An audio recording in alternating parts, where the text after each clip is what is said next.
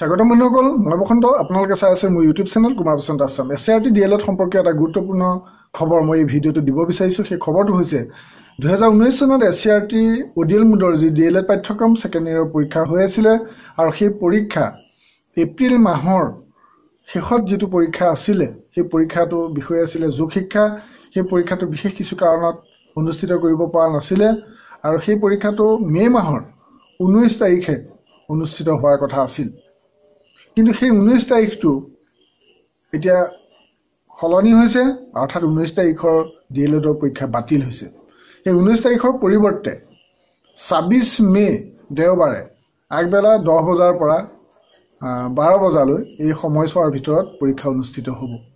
আৰু এই নিৰ্দেশনাটো ওলাইছে আঠ মে'ৰ দিনাখন আৰু additional secretary to the government of Assam Shewali Devi Sharma স্বাক্ষৰ কৰা সেই নিৰ্দেশনাটোত বিশেষ এৰা বনোৱা পৰিস্থিতিত এই পৰীক্ষা ঊনৈছ মে'ৰ পৰিৱৰ্তে ছাব্বিছ মে'ত হ'ব বুলি প্ৰকাশ হৈছে। ভিডিঅ'টোৰ মূল কথাখিনি ইমানেই। এনেধৰণৰ গুৰুত্বপূৰ্ণ খা খবৰ পাই থাকিবৰ কাৰণে আপোনালোকে চেনেলটো ছাবস্ক্ৰাইব কৰিব। যদি আগতে ছাবস্ক্ৰাইব কৰা নাই ভিডিঅ'টো ভাল পালে লাইক কৰিব আৰু সকলোৱে যাতে খবৰটো পায় তাৰ কাৰণে ভিডিঅ'টো জৰুৰ শ্বেয়াৰ কৰিব। আৰু ডি এল এড সম্পৰ্কত মই আৰু কেইটামান গুৰুত্বপূৰ্ণ ভিডিঅ' মই আপলোড কৰিম। আপোনালোকে চেনেলটো চাই থাকিব। কিবা এটা খবৰ আছে শেহতীয়া। আৰু টেটৰ সম্পৰ্কতকৈ মই ভিডিঅ' আপলোড কৰি আছোঁ। আপোনালোকে এই ভিডিঅ'ৰ ডেছক্ৰিপশ্যনত এটা লিংক দিয়া আছে। চাই ল'ব। আজিলৈ ইমানটা সামৰণি মাৰিছোঁ।